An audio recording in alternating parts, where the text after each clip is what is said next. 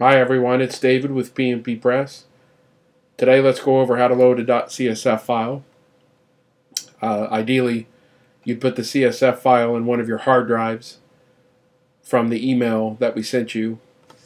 Uh, in this case, for simplicity's sake, we're going to be using the desktop.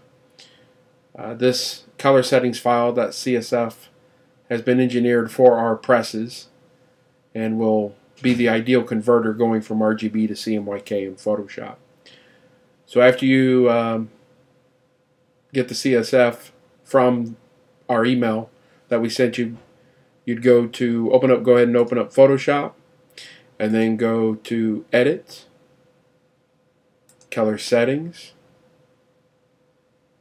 Right now it's a, it's on the default North America General Purpose 2.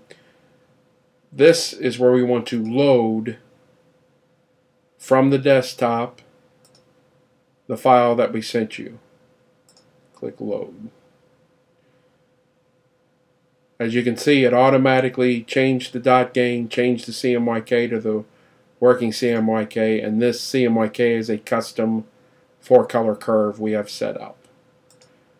Just click OK.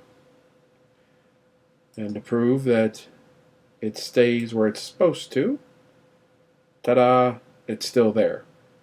Now, let's say you need to go back.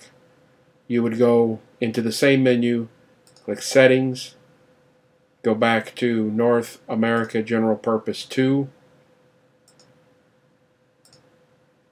click OK, and to prove that it stayed there, we'll go back into the same menu and you can see it's gone back to North America General Purpose 2 but you still have our settings in there as well.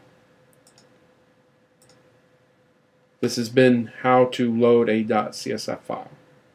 Thank you very much.